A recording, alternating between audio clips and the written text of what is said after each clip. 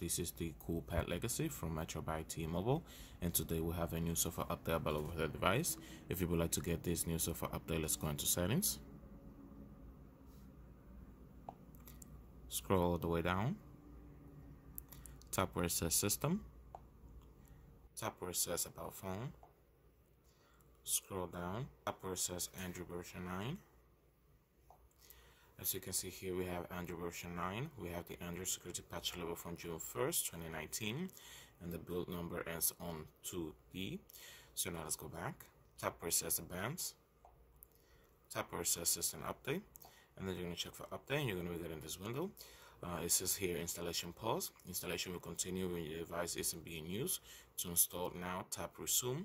Congratulations, a new software update is available for your device. Update will take approximately 10 minutes. You will not be able to use the device during this time, including the ability to call or text to 911. To begin install, select select update. So as you can see here, it's going to be changing from version uh, uh, 28.2. Now it's going to be 24.0 and the update size is going to be 335.6 megabytes.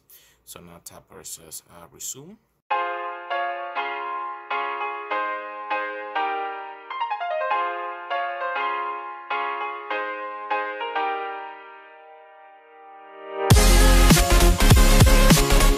Okay guys as you can see there they just finished uh, applying the update and also optimizing the apps.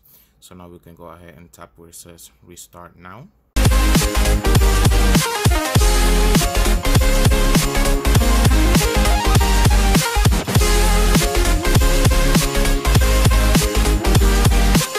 guys, as you can see here, we're back. We have successfully updated the Coolpad Legacy from Metro by T-Mobile.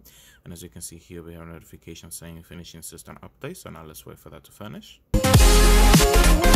Okay guys, as you can see there, it just finished. So now let's go back into settings. Scroll all the way down. Tap on system.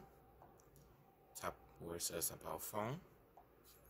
Scroll down where it says Android version 9 and as you can see here, we have Android version 9. And now we have the Android security patch level from August 1st, 2019.